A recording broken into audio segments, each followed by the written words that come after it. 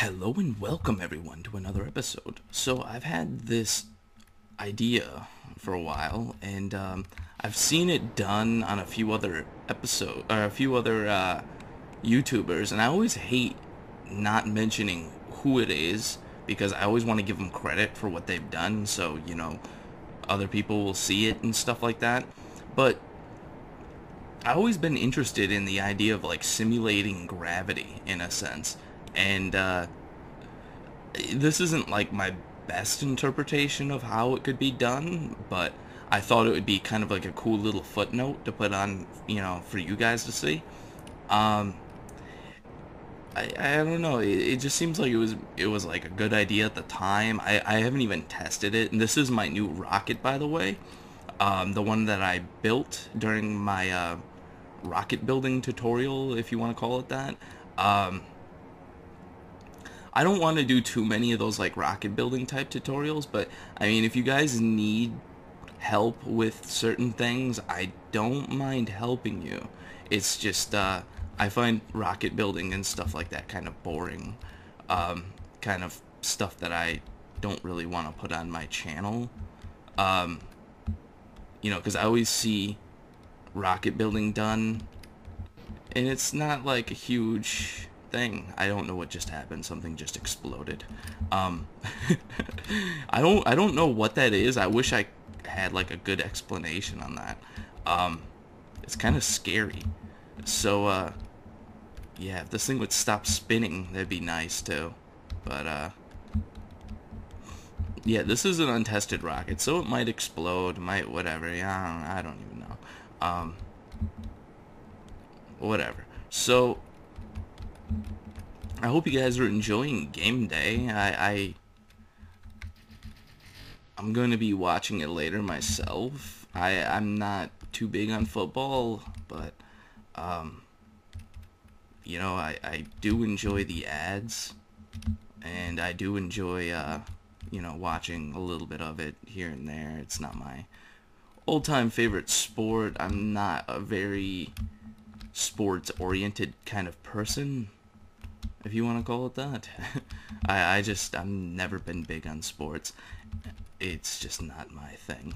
So, I think I put some RCS on this thing, but I'm not sure. Yeah, there's no RCS. As you can see, it's very untested, so I'm trying to stop this spinning, and it's not working.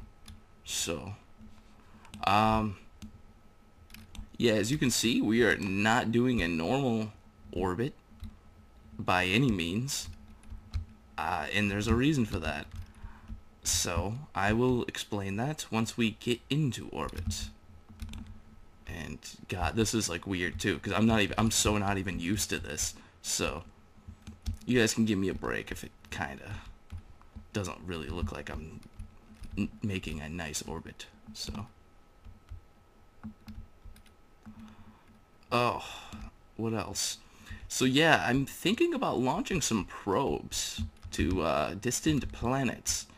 I, you know, you, I, I gotta launch some science packages to see what these other planets are all about, you know, and that's kind of one of the things I have been interested in lately.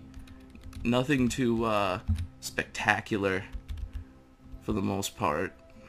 You know, it's just been kind of uh, same old, same old with this game. I, uh, I've been really happy about the way the, uh, space station is coming around, coming along around Minmus, and there'll be more of that soon. Um, I have some ideas and certain things. I do want to put a bunch of fuel in orbit. That is one of the things I really want, but, um, you know, it requires some testing and you know, I have to build uh, some better mechanisms to uh, store said fuel and, you know, all that good stuff. And I really need to get rid of this big stage so I can flip this thing around. At least try to. Come on. Come on. Come on. This is going to be so painful for you guys to watch. So yeah, it, it, I hope you guys are having a good, uh, you know, Super Bowl. Uh, I can't say that word. uh, game day. I hope you guys are having a really good game day. So, uh, yeah, if you guys wanna, if you guys want to know the reason why I can't say that word, um, just look it up. It, it, it's amazing. So, uh, yeah, enjoy your game day, as I might, as it might be said. Um, what, what's going on here? Oh, there we go. Yeah, I got rid of, I, I could have used that stage. There's so much fuel left in it, but, uh, yeah, I, I would much rather prefer to, you know, actually move my craft around and stuff, you know. So, this isn't going to be a great orbit, and I don't even think I'm going to leave it in orbit. I, I'm probably just going to knock it out of orbit once I'm done, so... But I will show you guys the main reason why I have you all here today. So let's spin this thing around facing the sun. And we are in a polar orbit now. That's what this is called, is a polar orbit. You, we are not orbiting in a normal sense. We always will have the sun facing, you know, it will always be over the horizon like this. So these orbits are really good for like, I, I honestly think and you guys i mean for me like i like launching satellites in orbit in polar orbits and putting them in polar orbits mostly because there's no dead time on your uh your craft. Like there's no time where it might run out of battery and you're just stuck there.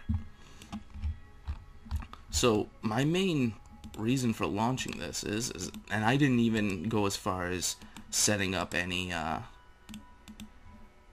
quick keys or quick commands or whatever for it. The uh, I just wanted to test this idea out, and I didn't want to, you know, destroy anything or whatever. You know, just do something really crazy. And I thought this would be kind of a fun idea to test out. So let's get this thing. Come on, come on. I should have set those up. Woulda, coulda, shoulda. So, I'm going to detach this other stage and I am going to turn on all these little ion drives. Oh god. Well, I was going to turn them on. Why aren't they working? There we go. Now this right here is something I've had in mind for a long time. Wow, it is spinning really fast. I'm going to turn that off for a second, actually, so I can realign myself and turn on the SAS. Which I should have done that a while ago.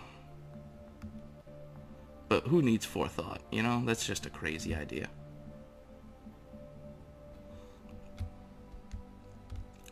Okay, so I guess it will be facing this way.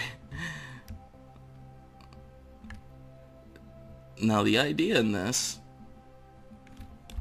and I, I don't even think this will be affecting my orbit in any kind of way, because it's moving so fast, um, and spinning, is if you look at this, now, if there was somebody inside there, if I'm correct me if I'm wrong, but I mean, they would be experiencing some form of gravity on them, and they would actually be, um, you know, attached to the spacecraft in a sense, like not not like a centrifuge where they'd be like stuck to the outside, but everything inside would be experiencing some form of gravity because of the fact that this thing is spinning. And I don't know. I'm not like a engineer or anything like that. Um, I don't know much about. I don't, you know, like I don't claim to know anything about, you know, space travel or, you know, anything like that. But it's to me, this just seems like it would work in a sense, as far as if you were trying to simulate some kind of gravity. I don't know. Um, how well this would work in a sense, but when you when you look at it like I you know I just always thought this would be kind of a fun thing to mess around with. Now I kind of planned on it facing towards the sun, but I did not put RCS on, so that was kind of my fault, and it's probably just gonna. It, it seems like it's probably just gonna face the uh, Kerbin, so I'm gonna keep turning this up until my battery can still stay stable. So, and this thing will just keep spinning pretty much until the um, it runs out of xenon gas. So, I mean, this would be like long-term simulated gravity in a sense, like where you have, you know, it, this would only last for a few hours in real life, but, you know, with this game, it, it's not like this would last forever or something. You know what I mean? Like, you're not going to sit here for like two hours and watch this thing spin. Give me a break. So, if you were to simulate gravity in a sense, this would be one way that it would be possible. I, I, at least I think so. I'm not 100%. You guys can leave comments if you want or whatever and let me know. But anyways, guys, I thought this would be kind of cool to show you, so I'll see you next time.